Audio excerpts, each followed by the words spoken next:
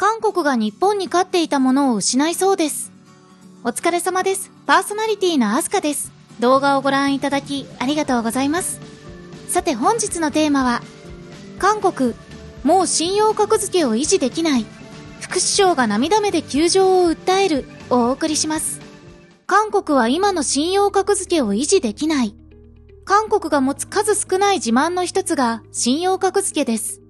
この信用格付けとは国債などの長期信用格付けでどれだけ投資に適しているかを示すものです。この格付けの評価が高いことが韓国にとっては世界に誇れるものだったのです。しかし最近、この格付けを維持することが限界になってきていると韓国政府が吐露したことが話題となっています。今回はそうした報道と日韓の人々の反応をご紹介します。まずは報道内容です。本ナムギ経済副首相兼企画財政部長官は、国際格付け会社各社は、韓国の国家債務の増加スピードを懸念している。信用格付けの管理が限界に来ているのではないかと思う、と述べた。コロナの長期化による繰り返される補正予算の編成によって、国の債務が急激に増加し、外貨保有高が減少したため、国家信頼度の維持に赤信号が灯ったと明らかにしたのだ。これは2月8日の国家予算決算特別委員会で、ムーディーズや S&P などの国際格付け会社の国家信用格付けの見通しを問う、国民の力所属のチェ・ヒョンドゥ議員の質問に対しての回答だ。本副首相は財政準則が口先だけで国会で立法化されないことや、国の債務が増えるスピードについて国際格付け会社各社が懸念している。今回の補正予算のように、いわゆるコントロール外にあることについて懸念があると説明した。与野党が大規模な補正予算の増額を推進していくと、国際格付け会社の国家信用格付けが落ちてしまうため、増額することは難しいと主張したのだ。本副首相は、ここ2、3年間、国際格付け会社と協議してみると、それでも私たちの事情を理解してくれてはいる。政府が役割を果たしながらも、財政当局が国の債務について努力していることを評価してくれていた。しかし、今はある程度限界に来ているのではないかと思う、と付け加えた。本副首相はまた、政界が求める補正予算の大幅増額は難しいとの立場を改めて明らかにした。政府が提出した補正予算の規模に前後して、通常の減額や増額をめぐる議論はあるだろう。しかし今、35兆から50兆ウォン、約3兆3000億円から4兆7000億円の話をしているが、その程度の規模は受け入れがたいということをはっきりと申し上げる、と述べたのだ。現在韓国政府は14兆ウォン、約1兆3000億円規模の補正予算を国会に提出している状態だ。本副首相は補正予算の規模が与党の要求通り35兆ウォンへと増額される場合、国内総生産、GDP に対する国の債務の割合は2%前後上昇すると見込んだ。以上が報道内容です。これ以上コロナを理由に予算を増やすと財政が悪化するので、信用格付け会社がする格付けを維持することができないということですね。この格付けは国債などが約束通りに支払われるかの確実性を表したものです。ただこの評価はそれぞれの格付け会社によって異なり、その格付け会社も民間企業なので、あまり信憑性が高くありません。それでも韓国としては、この評価が落ちてしまうことは何としても避けたいようですね。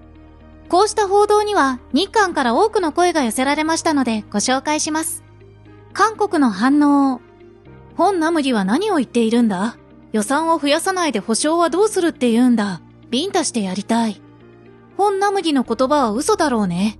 とにかく政府を批判したいためについている嘘だ。そんなに簡単に韓国の格付けが落ちてたまるか。まあこれは正論かもな。1月2月は貿易収支が大きなマイナスとなっていて、不動産に対する徴収もうまくいっていない。そんな状況で補正予算を増額編成していて、信用格付けの評価が上がるはずがないもんな。先進国のどの国よりも国の債務は少ないけど、家計の債務は GDP 比で104%もある。そんな状況なんだから、国はもっと予算を増やして、それを国民に振り分けるようにすべきだろう。だから本ナムリの言うことなんて聞いてはダメだ。一部の数字だけを引っ張ってきて、債務の増加率が世界1位だとかいう企画財政部、その長官を信用できるはずがない。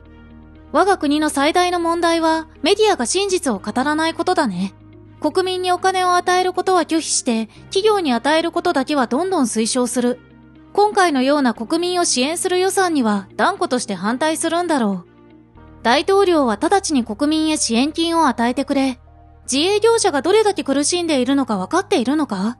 本ナムリも問題だけど、決断を下せない大統領も問題だ。国民の厳しい懐から徴収して、そのお金を企業や自分たちの懐に入れる。そして財政は厳しいから支出を抑えるっていうのか？本当にひどい。補正予算を組んで国民に分けたとして何か悪いことはあるか？こんな反対なんかしないですぐにやってくれよ。まあ経済の知識もなくポピュリズムでお金をばらまこうとする今の政権は微妙だからな。本ナムリは経済通だからそのあたりは信頼しているよ。どこの国も同じようにコロナ対策でお金をばらまいている。それなのに韓国だけが格付けが下がるなんてことはないだろう。もし下がるとしたら全世界一緒にだから、結局相対的なポジションは変わらないはず。日本の反応。まあ粘った方だよ。IMF も日本も助けないから自分で後始末までやってね。今までの信用格付けが高すぎたんだよ。なんで日本より高いんだろうとか思っていた。これで大きく下がって、ようやく本当の順位になるんじゃないかな。都合のいい話だけ信じていればいいよ。どうせもう手遅れなんだから。格付け会社と協議をしているとか言っちゃったね。つまり金で格付けを買っているということを白状した。まあ信用格付け会社なんて民間会社だから当たり前のことなんだろうけど。韓国のコメントを見て安心したよ。順調に崩壊へ向かっているね。とにかく予算を増やして国民に振り分けろって意見が多い。それで国が破綻したら自分たちも終わりってことを分かっていないな。国の債務は先進国で一番少ないってそれって確か韓国だけが統計に組み込むものを変えているからじゃなかったっけ？IMF も想定するより速いスピードでどんどん債務がかさんでいるのが実態だよね。韓国は公的企業の負債を国家負債に含めていない。だから債務が少なく見えるだけ。信用格付けがいかに信頼できないかが分かったね。格付けをする対象と協議をして決めているんだから、数字で判断していないことが分かった。IMF 危機の時も直前まで最高クラスの格付けだったもんね。信用格付け会社が儲けるためにやっているものだから、落ちたところでどうでもいいだろうに。こんな格付け、誰が得するんだろうな。投資家の連中は、この適当な格付けなんて参考にしないだろうし、国家の見栄を満たすだけのものかな。格付け会社と協議をしてるって話が一番びっくりした。さらっと言っているけど、とんでもないことなんじゃない？完全にズブズブな関係じゃん。韓国流に言うと、格付け会社への賄賂が足りてないんじゃないかな。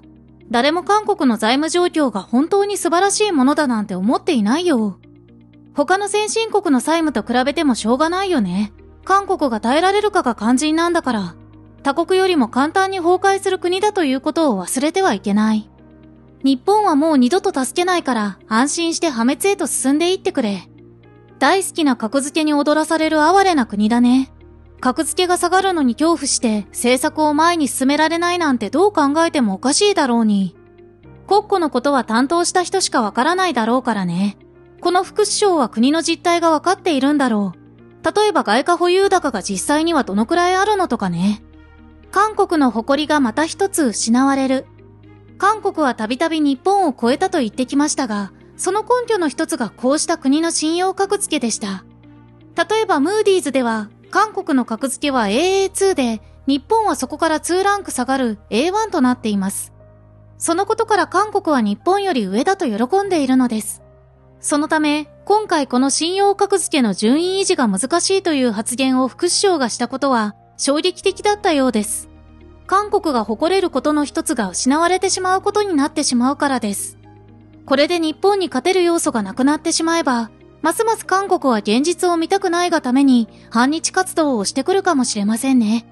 ただ、そもそもこの信用格付けは、格付け会社が利益を得るためにつけているものと言われており、どうにでも操作ができるものです。ですから、お得意のロビー活動により、格付けを維持させることを頑張ってもらいたいものですが、そうしたことすらできないほどに財政が悪化していることなのでしょうね。このまま格付けが下がってしまうとかわいそうですから、なんとか踏ん張ってもらいたいものですね。日本はそのような意味のない格付けには興味がありませんけどね。あなたは韓国が信用格付けを落としそうなことについてどう思いますか？ぜひ意見や感想をコメント欄にお寄せください。最後までご視聴いただきありがとうございました。またあなたとお会いできることを楽しみにしていますね。